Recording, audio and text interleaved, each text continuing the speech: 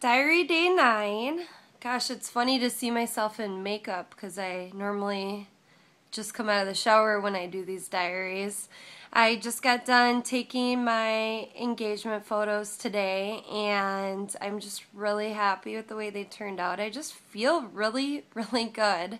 Um, you know how you walk by the storefront and you can see your side profile? Well, normally I'm like, Ugh.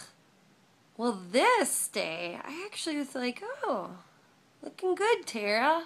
So, it must be working.